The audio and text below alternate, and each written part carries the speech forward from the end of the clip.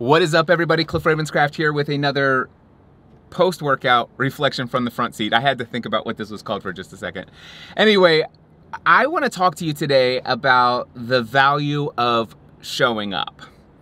And it's what is currently compelling me to create consistent content. And I've had a desire to create ongoing, consistent vlog content going all the way back to 2007. And I remember in the early days of creating like video content, I would get a brand new camera, I'd get a bunch of new gear, and I would go and say, hey, I want to welcome you to my first, very first vlog episode for my YouTube channel. And then I might create one, two, maybe three vlog episodes, and then decide to give up. And then I would come back a couple years later, I got some new gear, I knew a camera, all the new microphone, lighting, and all this other jazz. And I'm like, hey, everybody, welcome to my first vlog episode. And yeah, and then if there's been a couple times where I'm like, I'm gonna vlog every day in August or vlog every day in April, although I don't think I ever did April. But anyway, I've always wanted to create content. It's what I'm called to do in this world. I know that that is my purpose, my mission in life is to create content, products and services, uh, free and paid that will entertain, educate, encourage, and inspire other people. Uh, hoping that what I'm doing uh, inspires people to take their life to the next level, to become more of who they're created to be. So, always compelled to create content. Yes, audio, been doing the podcast stuff forever, but also video has been a component of mine for a long time. And here's what I can remember back when I think it was August of 2017, I think I attempted again that vlog every day in August sort of deal. And when I attempted that, there were days where I'm like, I don't feel like it today. And part of that is because I made it overcomplicated. I felt like I had to, to impress people and all those other things that I no longer, that I, thankfully I've broken free from all of that. And and but one thing that I realized is that I was putting out at times subpar content, content that I just didn't feel like was awesome enough to be published. And I actually had done this with podcast content as well. I, I had this compulsion that I'm going to put a podcast episode of my audio podcast every single week without fail. That's my goal, that's my desire, that's my commitment. And there were some times when, quite frankly, I published an episode that the only reason I recorded is because I felt like I had to. I felt like, you know, I, I, I've got this commitment that I've told the world, or maybe you haven't told the world, but maybe I've told myself that, that I, I need to do this. This is what I, this is what I feel like I should do. And and I remember having a conversation in one of my mastermind group meetings, and a dear friend of mine brought up this idea of like, you know, don't, whatever you do, just don't create content just for the sake of creating content. And that phrase has stuck with me, and in fact, it gave me the freedom from time to time to just skip a Friday or skip a week of my audio podcast, I should say. And and and and I'm glad that I did frankly, in several of those areas. So, I I am not a fan. In fact, I am opposed personally uh, for myself and and I would strongly advise you to consider this for yourself whether or not you want to adopt this philosophy, but I am absolutely opposed to creating content just for the sake of creating content. I am opposed to creating content because you feel like you have to. I'm I'm opposed to creating content just because you feel like it's expected of you. Um, I feel, you know, if, if you if you don't want to actually have that expectation out there that is a realistic expectation, then don't tell people you're going to vlog every day. Don't tell everybody you're going to publish a podcast every week without fail. Just publish when you feel led to publish, and and if it's daily for a while, let it be daily. And if it's not, it's not. And if people get bummed that you're not there, well, that's their expectation. It's not an expectation because you promised it to them. So be careful what you promise. That's that's one tip for you. Be careful what you promise. Don't promise people that you're going to show up consistently if you're not willing to do that.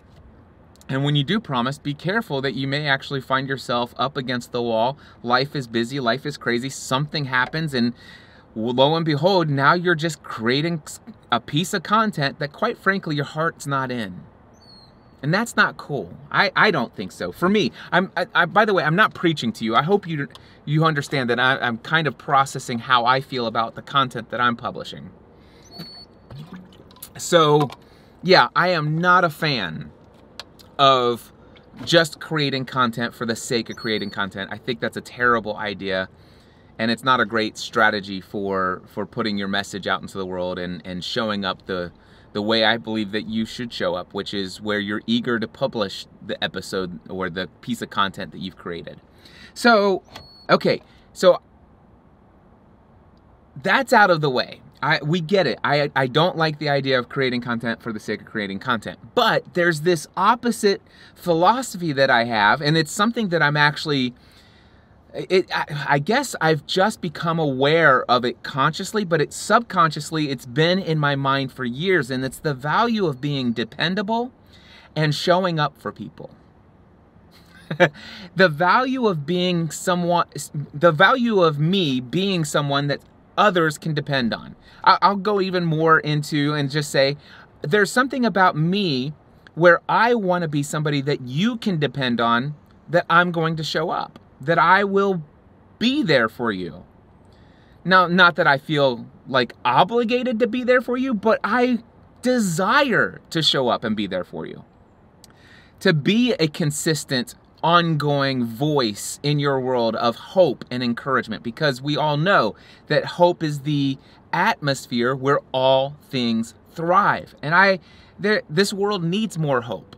And in a way, I think this world needs me to show up. And it's not just me. It's it's the world needs you to show up because the world needs more hope. So okay, so I say that this has been in my mind. It, has been something that's been in the background of my mind for years, and I, will give you a story, an example, and and I, I'm gonna be cautious not to to like point fingers at any one person. And besides, I've been guilty of this myself. And what I will tell you is that in the audio podcast world. I have been that's that's like where my primary first and foremost place to go for content that that I tune into for ongoing uh, education, encouragement, inspiration. It, it's my favorite source of content, audio podcast content. And the thing is, is I'm not subscribed to a lot of podcasts. In fact, in the 13 years that I have been subscribing to podcasts, my podcast subscriptions have not changed a whole lot over the years. And today I'm still only subscribed to about 12 or 13, maybe at tops. At times, I might actually bump all the way up to 15 different shows that I'm subscribed to. But if I look at the top let's just say the top seven podcasts that I'm subscribed to, most of those podcast slots are filled with people that have been in those slots since 2005, 2006, and 2007. And the interesting thing is, is there there is one person in my life, one person in my life, and I've been listening to this person's content for all the way back since 2005 okay? And the, this person has lots of different shows, but there are several shows that I'm subscribed to, currently two, where I've never missed a single episode. And we're talking like well over a thousand podcast episodes, well over a thousand podcast episodes and I never miss an episode. And there were times in my life where I would actually be subscribed to three or four or five of this person's podcasts, and they were all in the top five of my shows that I would listen to first before anything else, right? And I sought this person's, I, I sought out this person's content because I felt he, I, his message resonated with my heart, okay? His content spoke to me in a very powerful way. Uh, his worldview is positive, encouraging, and filled with hope. And I found that when I started my day with a piece of content from this friend in the world, my day was brighter, happier, more fulfilling. and I was inspired and motivated consistently by this person and and that took up several hours of my week every single week and I was thrilled to have that amount of content. And then occasionally um, this person would go on vacation. And that person would go on vacation for like two or three weeks and there would be no episodes for two or three weeks. And if it was just one podcast, one hour a week, I might not have been as have, I might not have experienced as much withdrawal as I did, but the reality is, is I got to depend on this person for about three to five hours worth of content every single week. And then for three weeks, I'm going cold turkey with none of this content. This person isn't there for me. Now, the thing is, is this person deserved to go on vacation. Uh, this person had every right to take some time off. I mean, for heaven's sake, it's not like I was being charged for this content, and and it's there for me for free.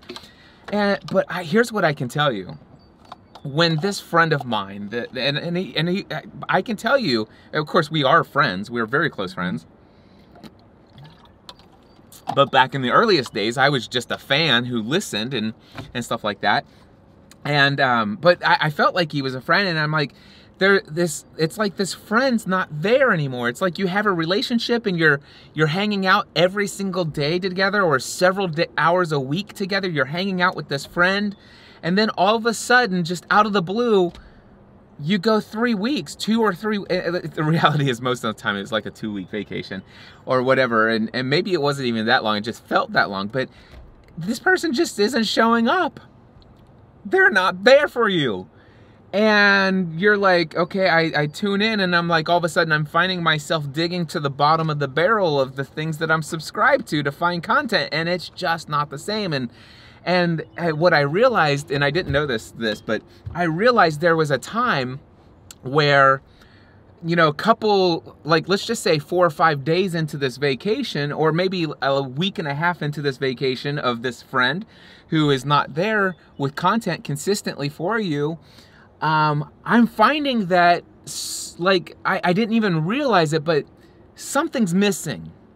Something's off for me something is different. I'm actually experiencing life in a different way right now, and it's not as awesome as it usually is. What is it? And it took me a while to realize it's like, wait a second, I'm missing, I'm actually have I'm experiencing withdrawal from this person's influence in my life. And I'm like, wow. And so that of course is what has always given me this desire to make sure to be consistent. You know, I want to make sure that I'm not I'm not doing leaving a void for other people. But the reality is is that I at the same time I don't want to ever get to the place where I'm just creating content for the sake of creating content. I do believe in creating consistency uh, being consistent, being dependable, being reliable. People can count on you for your if you know if you've been publishing a podcast episode every single Friday for once a week every week for the last several years, then people should be able to depend on you for being there Friday morning when they get up to go to work because well that's the part of their routine and and part of me hates the idea that sometimes I actually do skip a Friday.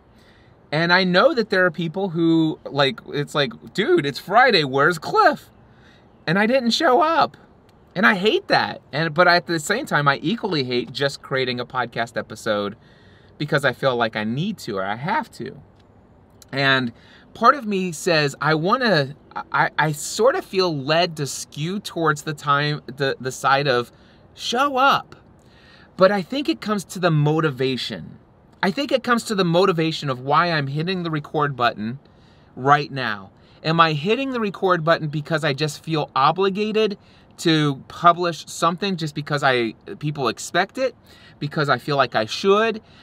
Because that's creating content for the sake of creating content. And I think whenever I've done that, and I've done that several times, I've never really felt terribly good about it. However, at the same time, I've oftentimes received very positive, very encouraging feedback from saying, Cliff, wow, I really enjoyed that episode. And I'm like, really? And of course, they got the value because I showed up. But I can tell you this lately, I've been creating more content than I feel comfortable creating, specifically here for my vlog.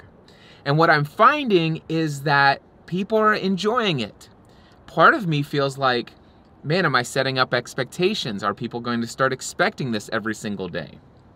And and I I'm cautious of of that commitment and I don't know that I want to make that commitment. And part of me says, you know what? But there's value in just showing up. And and I think that as long as I'm hitting the button to record content, whether it's this vlog, IGTV, or if it's uh, Facebook live streaming, or if it's an audio podcast, whatever the content I'm creating, if I'm hitting the record button and I'm saying, you know what, I'm doing it for the people. I'm doing it for the people. That sounds like yeah, that sounds weird, doesn't it? I I'm doing it because I want to show up. I, I feel like I feel like there's value in showing up for people, being a consistent voice of hope and encouragement. That's that's giving me a new perspective on just hit record and publish. Yeah. But at the same time, I want to tell you this. If I ever come out of the gym and or if I'm ever out traveling and and and I feel like, well, you know, I, man, it's been a I didn't rec- I need to record a vlog today. If I ever say I need to, I have to, I should, I'm I'm not going to hit record. But it, but as long as I can as long as I can have the mindset and the motivation is dude, I, I really want to show up for people today. Where can I fit in an opportunity for me to show up? And and as long as I do that, I think I'll show up. I'm enjoying creating this content. And I and I'm not creating content for the sake of creating content. And I'm not creating content because I have things that I'm that are that need to be sold right now. I, I'm creating content because I genuinely want to entertain, educate, encourage, and inspire others. And I want to be a source of hope because hope is the atmosphere where all things thrive. And I want to help you thrive in life. And here's the interesting thing is I realize that there are going to be times where, quite frankly, you're going to be overdosed on me. I get it. Matter of fact, this friend of mine that I told you about, there was a day when his podcast was, he had one podcast that was daily, every single day. Like, well, it was five days a week, Monday through Friday, every single day. And I gotta be honest with you, there were times when I got several days behind, like eight or nine episodes behind.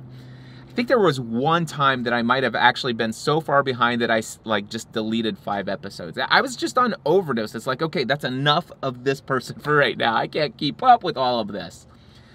But at the same time, I, I think back to that and I think of the times when recently this person like went off the radar for an extended period of time and or was showing up in a completely different way that I was used to that that I'd grown to love and thankfully this person's back to grow, showing up but it's not about me I'm just thankful he shows up. And but anyway I think about it's like man even though I may have been overdosed and I skipped some epi- episodes I I'm thankful that that he showed up. I am. I'm thankful that he showed up. And so I and I'm I'm I'm thinking about this as I'm watching this thing. You know, I'm, I'm recording this on June 29th, 2018, sitting here in the front seat of my car. And IGTV from Instagram is like a new thing. You might be watching this eight years later as a result of my newsletter.